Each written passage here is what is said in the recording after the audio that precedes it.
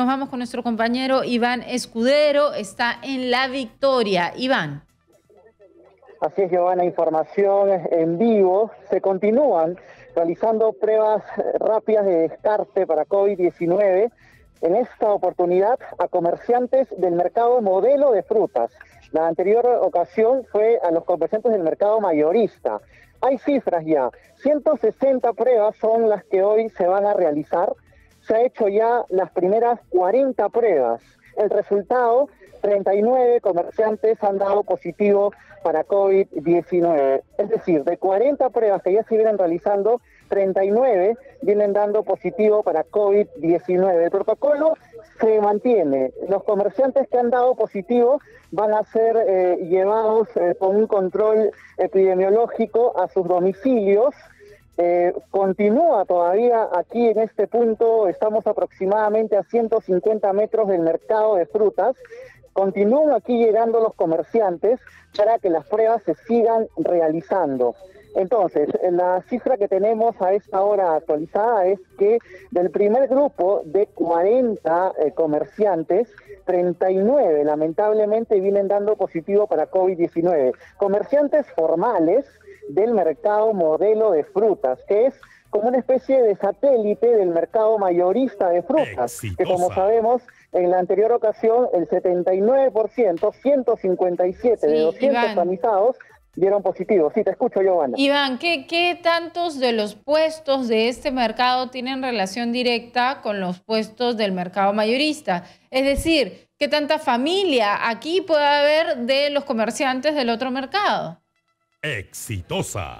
En realidad es muy directo porque el abastecimiento es directamente del mercado mayorista.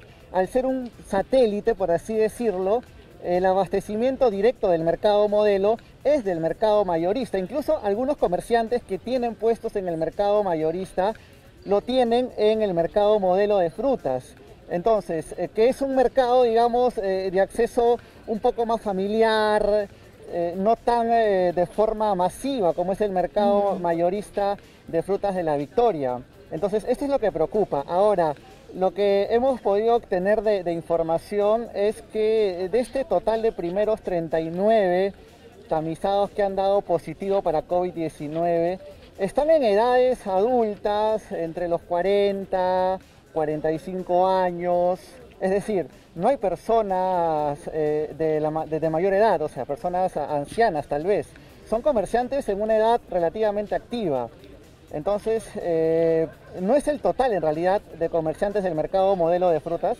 Estas 160 pruebas no va a abarcar el total de los comerciantes, pero es eh, un número significativo y que, da luces de eh, lo que se maneja aquí y que tiene hasta el momento relación a lo que pasó con el mercado mayorista de Claro, y, tendríamos que ver, Iván, tendríamos que analizarlo, tendríamos que analizar con especialistas, con médicos, qué tanto tiene que ver el producto con el que ellos trabajan. ¿Por qué? Porque no estamos hablando de comida preparada, no estamos hablando de comida que entra a cierta temperatura, estamos hablando de productos que se consumen directamente y crudos. Y estamos hablando de frutas que ya nos han dicho que cuando lleguen a nuestra casa nosotros tenemos que desinfectar con esta, con esta mezcla de agua con lejía y de esa manera se puede matar el virus. Pero si ellos están trabajando con esta fruta y no la están desinfectando, obviamente las cantidades con las que trabajan no la están desinfectando la fruta. Puede ser también este factor el transmisor del virus. Y es que en realidad esa es la preocupación porque hace unos días el alcalde de La Victoria incluso precisaba que claro, son comerciantes que dan positivo, estos comerciantes tienen contacto con los que vienen a comprar. Los que compran se llevan la fruta. Si han tenido contacto con el comerciante, posiblemente se lleven también el virus a diferentes puntos de Lima. Y esto es una cadena de contagio que lamentablemente no se está frenando porque hasta hoy, todavía eh, hablando del mercado mayorista, eh, está funcionando. Se habla y se sabe que se va a cerrar desde el día de mañana al mediodía hasta el día lunes y que el martes cuando reabra sus puertas el mercado mayorista de frutas, solamente van a ingresar aquellos que tengan el certificado negativo de COVID-19. Claro, que es lo que se tiene que hacer en, varios, en varios sectores.